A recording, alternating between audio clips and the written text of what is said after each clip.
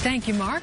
Well, you might notice that medical rounds tonight looks a little different. Moving across the street to the recently expanded Hartford Healthcare Center for Education, Simulation, and Innovation, or CESI, C-E-S-I. People come from all across the world to train at CESI, a premier regional and national destination. And you can see the high-tech mannequins in action there and mass casualty scenarios. The 35,000 square foot space also includes a simulated operating room and now the Hartford Healthcare Studio.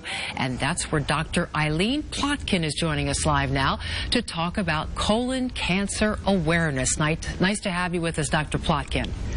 Thanks for having me. Well, March is Colon Cancer Awareness Month. What should the general population know about colorectal cancer?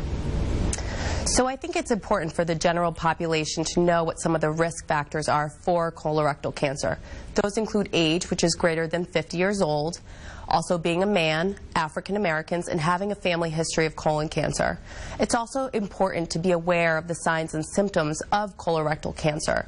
Those include unexplained weight loss, rectal bleeding, change in bowel habits. If you have any of those signs or symptoms, you should call your doctor or gastroenterologist to be seen.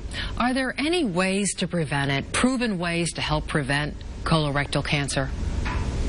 So there are effective ways to screen for colorectal cancer. The U.S. Preventative Task Force has published some guidelines for that. Those include stool testing, flexible sigmoidoscopy in combination with stool testing, and colonoscopy. Colonoscopy is the most effective way to screen for colon cancer because we can see the entirety of the colon and actually remove precancerous polyps during the procedure.